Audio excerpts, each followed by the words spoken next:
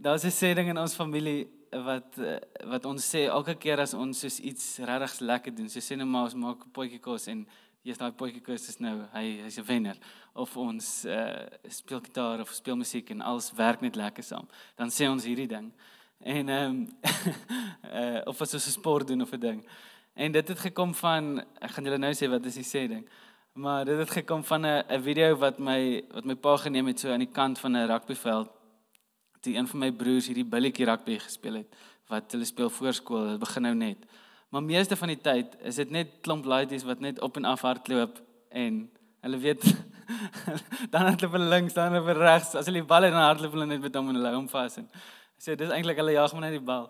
En eendag hier een van die ouens in die span, weet ek ken jy die sê ding.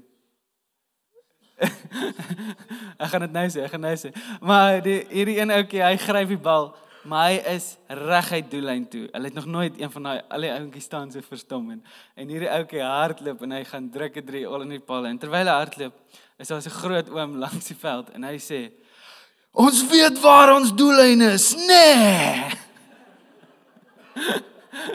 nou elke keer as ons as ons iets gebeur wat regtig goed is, ons sê vir mekaar ons weet waar ons doellyn is. en ehm um, maar as jy weet waar jou doellyn is, dis net so goed jou jou wete van jou doellyn is nie genoeg om jou daar te kry nie. Die die tools wat jy het om en die vermoë om daar uit te kom by jou doel is net so belangrik soos om 'n doel te hê. En ons gaan van vanoggend kyk na na 'n proses wat ek glo in baie van ons wat hier sit se lewens al klaar aktief is. Jy gaan sien soos wat ek deur die proses gaan, gaan jy sien jy's dis goed wat jy klaar doen maar ek glo Vader God wil vir ons iets baie spesiaal wys van hierdie ding. En want ons het almal het ons doele in verskillende areas in ons lewe. Ons het doele vir ons familie, vir ons bediening, ons het doele in ons besigheid en ons werksplek. Het ons iewers heen waartoe ons wil gaan. En en God het 'n manier wat hy opgesluit het in die Nuwe Testament vir ons om by ons doele uit te kom. En dit is 'n ding wat so kern is. Dis nie net 'n 'n om jouself te help ding om by jou jou doelwit uit te kom nie. Dit is 'n dis die fondament van ons geloof. En hierdie proses sluit word opgesluit in drie woorde: sit, loop en staan. nou dadelik is mens geskok want jy dink, okay, hoe gaan ek iewers kom as staan en sit? Een van die twee woorde is en daar's net een wat loop. Daar's nêrens een wat sy hardloop en en strek na die sterre nie. Maar ek glo soos wat ons deur dit gaan, gaan ons sien hoe hierdie drie woorde 'n kern is vir ons om vorentoe te gaan. Die eerste een sit praat van om te ontvang die volheid van wat God vir ons gedoen het. Ons as Christene is anders as die wêreld is. Ons het iets gekry. Ons werk nie hard om iets te kry nie. Ons werk vanaf ons sit en ons ontvang wat God gegee het. Dit is die plek waar ons begin. Die tweede een is loop en dit gaan oor die goeie werke wat Vader God vir my en jou ehm um, beplan het om in dit te begin stap. En dis doelbewus dat dit tweede is, want dit is dit's nie so belangrik soos om te ontvang nie. Maar ons kan nie sonder dit gaan nie. En die laaste een is staan en dit is om vas te staan dat niks jou ontspoor nie. Want ons weet dis nie genoeg om net te rus om te ontvang die talente wat jy het om die ability te hê nie en om dan in dit te loop nie. Dis dan as jy begin loop dan sien jy, wow, nou moet ek vas staan in hierdie spoor wat ek nou gekies het om in te loop net soos as mens kyk na rugby. Ek gaan nou nie verder oor rugby praat nie want ek het nie gespeel nie. So kom ons kyk gou wat beteken dit om sit. Ons gaan as jy hulle Bybel sit of so, gaan ons deur Efesiërs kyk. Ehm um, die hele boek van Efesiërs is opgedeel in hierdie. Die eerste 3 hoofstukke praat van om te ontvang wat God vir ons het. Die middelste deel praat van om te loop in die werke wat hy vir ons het. En in die laaste deel Efesiërs 6 vers 11 begin praat van oor die wapenrusting wat mens aantrek en dit is om te staan en jou koers te bly. Ek lees gou vir ons Efesiërs 2 vers 6. Ons is nou by die sit gedeelte. Uh oom Leon, kyk om geraai ding op sit daar. As hy. Okay, so dit is net om ons te herinner wat ons oor praat. Omdat ons aan Christus Jesus verbind is, het God ons saam met hom opgewek en saam met hom 'n sitplek in die hemel gegee.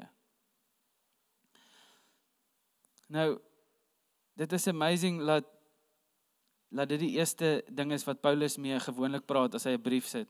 Is hy sê hy sê altyd God het dit vir jou gegee. Daar is baie woorde soos ehm um, jy is vergewe, jy het die volheid van God ontvang. En as ons kyk na hoe hoe sit ons, hoe ontvang ons hierdie volheid van God? Is daar twee goed wat ons kan doen. Die eerste ding is ons moet besef wie is die een wat hierdie goed vir ons gee en die tweede een is wat het God vir ons gegee? As ek nou moet sit en ek moet iets ontvang, dan vra ons dadelik, okay, maar wat moet ek ontvang en wie wie gee dit vir my? Die belangrikste ding is dis God wat dit vir ons gee. En dis die eerste kerngedagte wat ek en jy moet as ons enige vordering wil maak in enige area van ons lewens, moet ons besef dis God wat vir ons die vermoë gee om dit te doen. Ek gaan gou vinnig deur 'n paar skrifte gaan net om dit in ons vas te maak. Efesiërs 1 vers 13. Hy sê op grond van wat Christus gedoen het, is julle tot God se eiendom gemerk deur die Heilige Gees wat God beloof het. Op grond van wat wie gedoen het? Christus. OK. Omdat ons aan Christus verbind is, het God en dan gaan dit iets oor wat hy doen. Maar dis ons verbintenis met Jesus wat maak dat ons iets van God af kan kry. Efesiërs 2 vers 8. Dis nou daai drie hoofstukke van Efesiërs praat die hele tyd oor hierdie konsep. Efesiërs 2 vers 8 sê julle verlossing kom nie uit julleself nie, maar dis 'n gawe van God. Dit is aan hom te danke dat ons deur een gees toegang het tot die Vader. En kan julle sien soos wat ek hierdie skrifte begin lees, dis heeltemal teenstrydig met wat die wêreld vir ons sê. Die wêreld sê uh, jy werk en dan kry jy beloning. En daar's niks fout daarmee nie, maar dit, dit as ons in ons in ons gedagtes so begin dink, dan kom ons na Vader God toe en dan dink ons okay, vir my om hierdie drome, hierdie visie wat Vader God vir my gegee het te achieve, moet ek hard werk sodat ek dit kan kry. Maar Vader God sê hy sê dit sit dit klaar in ons.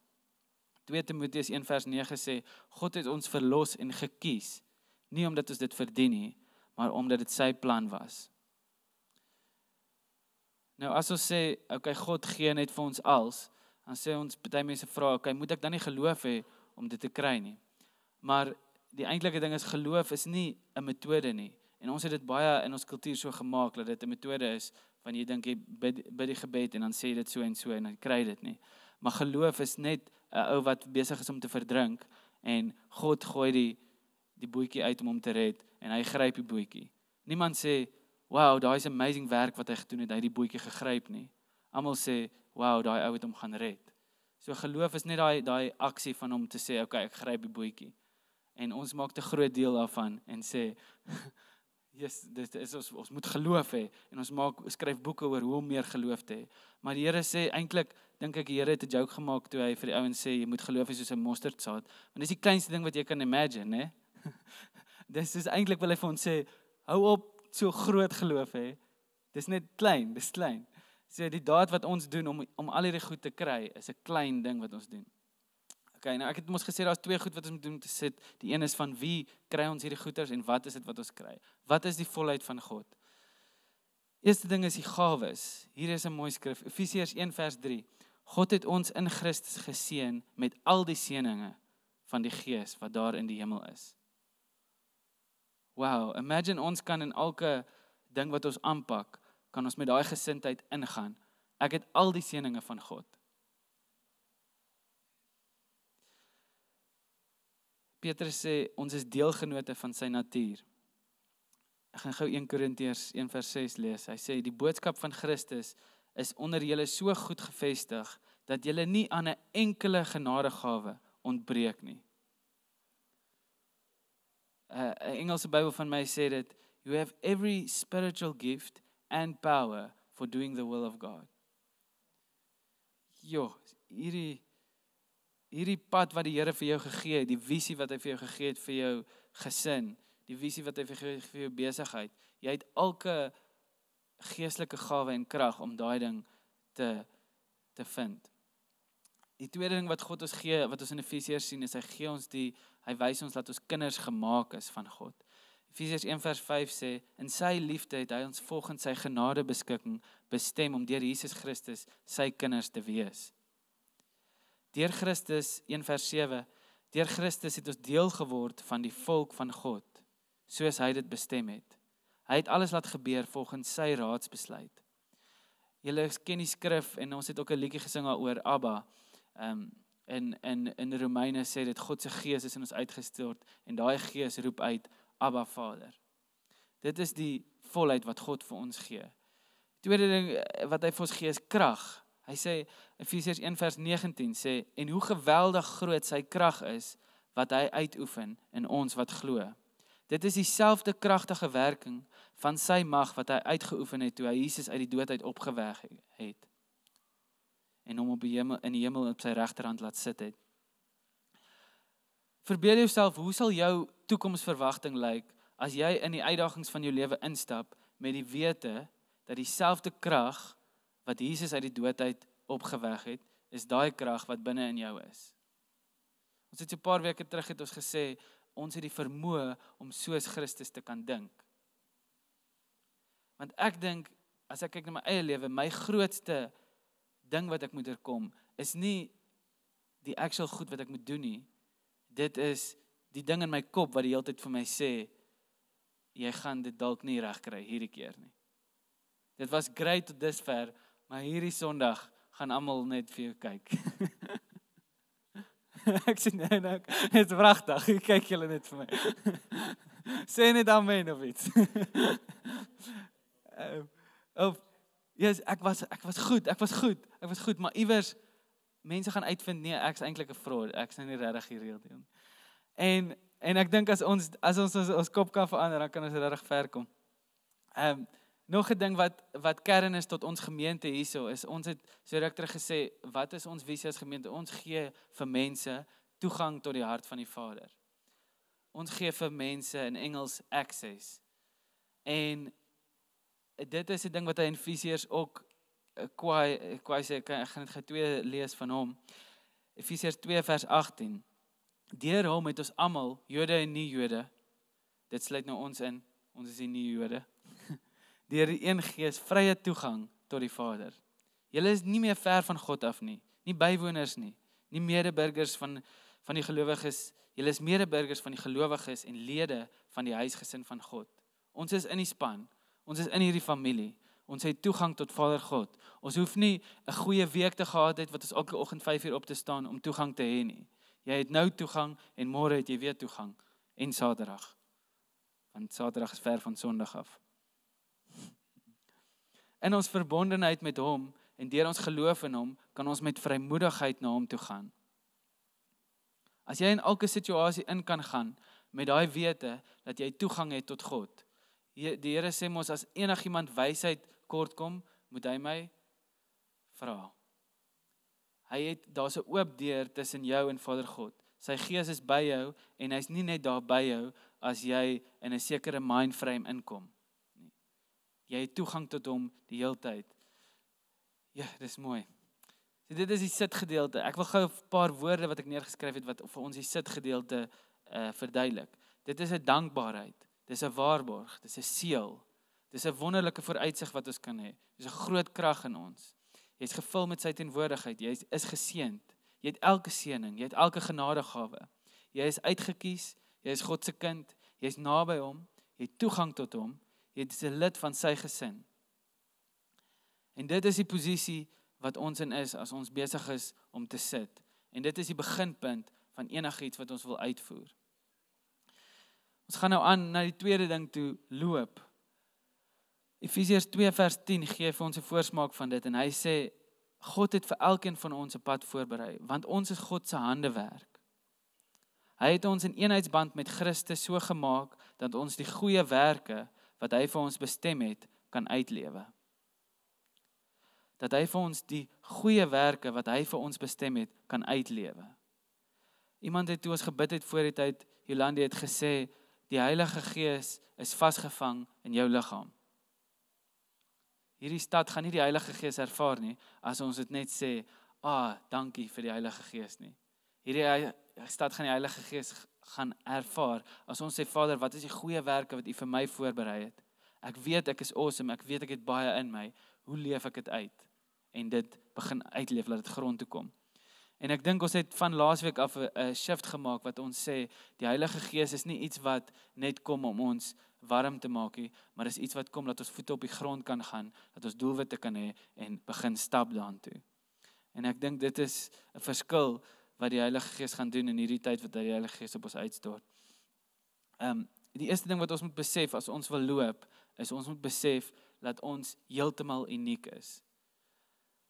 Ek dink ons is 'n kerk wat baie uniek is. As ons kyk net na die ouderdomme wat hier verteenwoordig is, na die haarstyle, na na die net die belangstellings hierso is baie anders. Dit is die eerste keer wat ek dit so sien in 'n groep mense en dis wat jy moet weet as jy wil begin loop. Jy moet weet my pad gaan nie dieselfde lyk as oom Marius se pad nie. My pad gaan nie dieselfde lyk as oom Gert se pad nie. Die manier hoe ek vorentoe gaan is anders en want God het iets unieks in my gesit. En dis wanneer ons wil eenvormig wees wat ons nie vorentoe gaan nie. Wanneer ek sê nee, jy moet soos my wees wat ons as 'n span terughou word.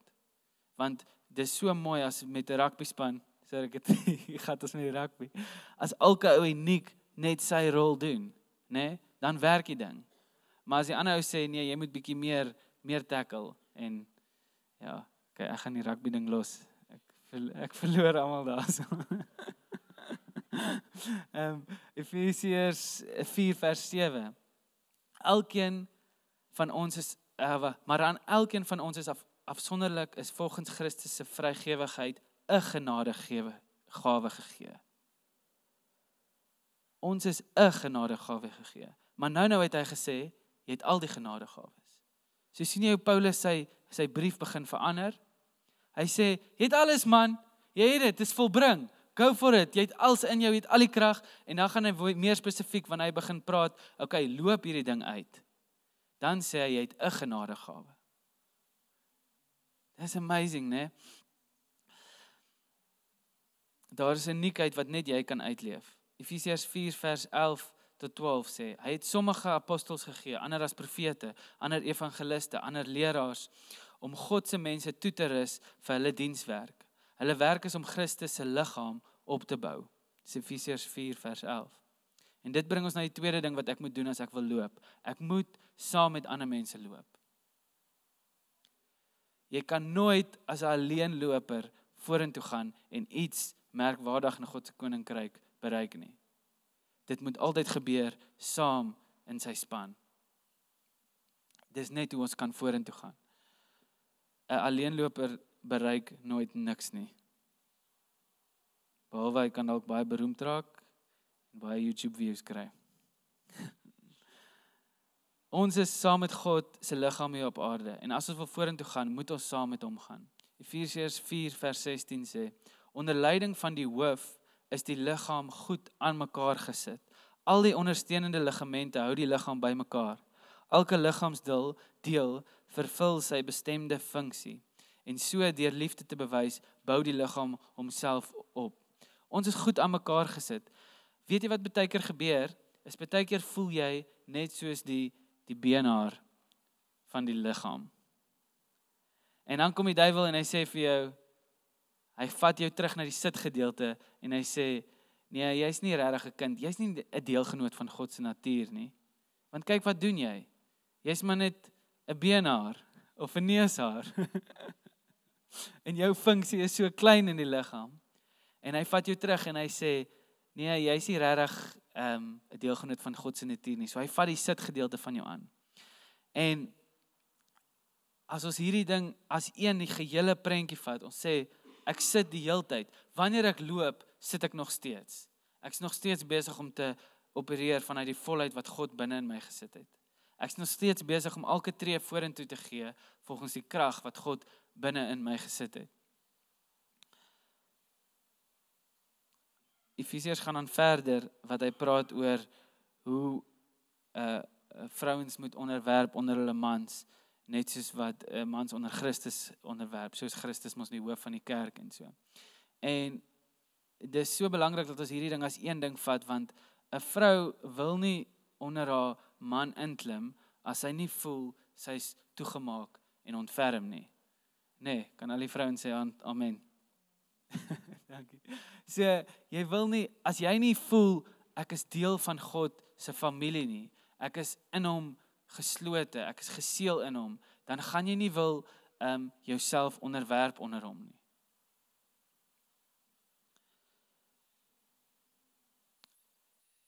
Efesiërs 4:23 sê: "Daarom moet julle die leuen af lê en die waarheid teenoor mekaar praat.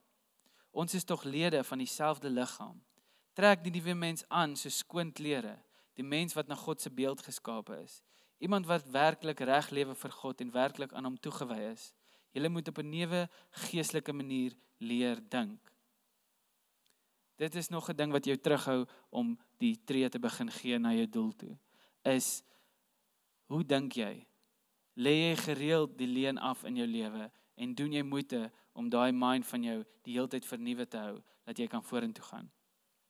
Efesiërs 4 vers 29 net so 'n bietjie aan sê, moenie enige vuil taal gebruik nie. Gebruik eerder die regte opbouende woorde wat nodig is om die wat luister te bevoordeel. Dis nie 'n metode om reg te praat nie. Daar's al baie boeke geskryf van hoe om die regte ding te sê. En as jy die regte ding sê, dan dan gaan jy dit kry. Maar om reg te praat is nie 'n metode nie, dit is 'n 'n keuse om jou liggaam en jou mond te sien as 'n tempel van die Heilige Gees. As jy begin jouself na kyk soos as 'n tempel van God se Gees, dan gaan jy begin kyk na wat jy sê. Maar as jy net die sê ding doen as 'n metode, okay, ons moet die regte ding praat want dan gaan die regte gebeur, dan dan gebeur daar anyway niks nie. So ons moet die shift maak van om te sit in God se teenwoordigheid en sê, dankie Vader dat ek 'n tempel is van die Heilige Gees, dat ek 'n draer is van die goedheid van God, die volheid van God is binne my. Dan gaan jy sien, wow, maar iewes skielik wil ek nie meer vuil praat nie. Ek wil nie meer negatief wees oor ons land nie. Ek wil vol hoop praat want ek is geconnected met die God wat hoop in my hart saai.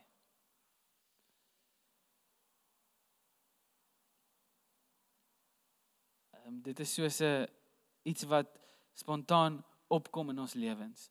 Wanneer ek die regte atmosfeer het, dan kom daar sekere dinge net op. Ek het in Malawi groot geword en daar het jy as jy 'n mango pit, 'n mango geëet het, die mangoes val uh, oral, almal hulle verkoop dit nie eens nie.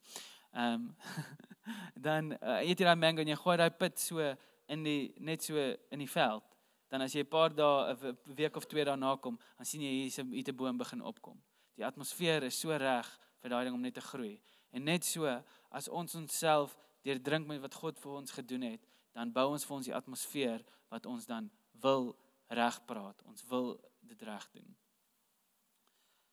Ons kom by die laaste woord staan. Efesiërs 6 vers 11. Dis nou waar daai staan gedeelte begin in Efesiërs. Om staande te bly teen die listigheid van die duiwel, moet jy God se gevegstoerusting aantrek. Dan as mense ons met slinksheid en slim streke op verkeerde paaie wil lei, sal ons nie meer soos klein kindertjies wees nie. Ons sal nie meer omgewaai of weggewaai word deur die wind van elke dag wat hulle ver, wat hulle verkondig nie. Dit is nou 'n deel van die Jakobus wat ek net daarby gesit het dat jy nie soos die wind sal wees wat omsweef nie. So ons kry hierdie ding, ons begin, ons sit en ons sê Vader, dankie vir dit wat U gedoen het. Dankie dat U die volheid vir my gegee het. En dan begin ons sê, okay, wat is die uniekheid wat God in my gesit het? Kom ek kom ek begin dit uitleef. Kom ek vat die tree vorentoe in die werke wat God vir my gegee het. En dan kom ek hier by Efesiërs 6 wat ek sê, nou moet ek dit aantrek die wapenrusting en nou moet ek staan. Wat gebeur as ons dit omruil? As ons sê ek het 'n doel en hier gat ek vir dit en ek gou. Dan struikel jy. As jy sê ek moet eers van vas staan, ek moet eers die wapenrusting aantrek, voordat ek die volheid van God ontvang, dan vertrou ek in my eie vermoë om in geloof te staan, om die swaard te gebruik, om myself te herinner oor al die goed en dan ehm um, as my vertroue op myself lê, dan raak ek trots. En dan raak ek soos 'n ou wat sê, "Hey, check wat het ek als gedoen." En as ek trots is, dan kan ek mos nie van God ontvang nie. Efesiërs 4 uh ag nee, nee Efesiërs 4 Efesiërs 6 vers 13. Ek wil gou daai wapenrusting net met ons deurgaan. En dit is die plek wat ons nou is. Daarom moet julle God se gevegstoerusting aantrek. Dan wanneer hulle die bose aanval, sal julle weerstand kan bied. En die hele as die hele geveg verby is, sal julle nog vas staan. Staan dus vas deur waarheid as 'n gordel om julle leupe te dra en trek God se vryspraak as 'n borsharnas aan. Trek die bereidheid om die goeie nuus van vrede te verkondig aan, so skoene aan julle voete. Dra onder alle omstandighede die skild van die geloof. daarmee kan julle al die brein pile wat die bose laat afskiet. Gebruik God se verlossing as 'n helm om julle koppe te beskerm. Gebruik die swaard van die Gees. Dit is God se woord. Doen alles deur gebed en smeking. Laat die Gees julle elke keer in die gebed lei. Bly in alle alle omstandighede op julle hoede en bid vir almal wat aan God behoort. As ons ek wil gou daar gaan oor ehm um, die goeie nuus. Daar begin by die goeie nuus, die vir die met die skoene aantrek wat die goeie nuus gaan versprei. As ons wil iets merkwaardig doen in God se koninkryk, moet ons 'n hart hê wat sê dit gaan nie oor my nie, ander ander mense se behoeftes stel ek bo my eie. As ek enigstens wil vorentoe gaan, moet dit in jou hart wees om ander mense te bevoordeel. As ek wil hê my gesin moet 'n awesome plek wees waar mense God se teenwoordigheid ervaar, kan ek nie die gesin laat gaan oor my nie. Ek moet die gesin laat gaan oor hoe kan ek my familie dien?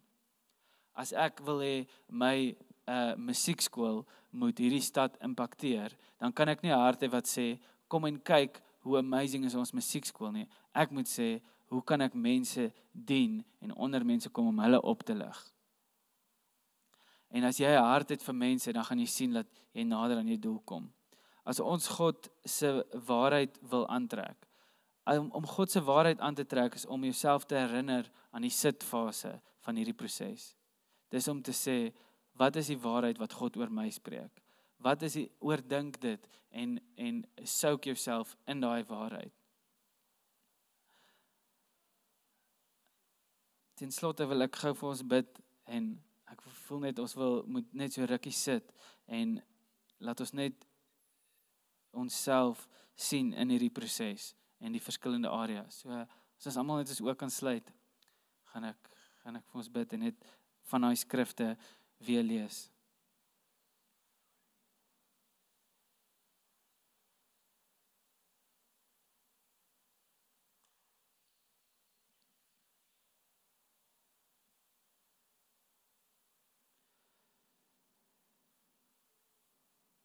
God het ons in Christus geseën met al die seënings van die Gees wat daar in die hemel is. In sy liefde het hy ons volgens sy genadebeskikking bestem om deur Christus Jesus sy kinders te wees. Deur Jesus het ons deel geword van God se volk soos hy bestem het. Hy het alles laat gebeur volgens sy raad besluit. Deur die bloed van sy seun is ons verlos en ons oortredinge is vergewe kragtens die ryke genade van God. Hoe geweldig groot is die krag wat hy uitoefen in ons wat glo. Dit is dieselfde kragtige werking van sy mag wat hy uitoefen het toe hy Jesus uit die dood uit opgewek het.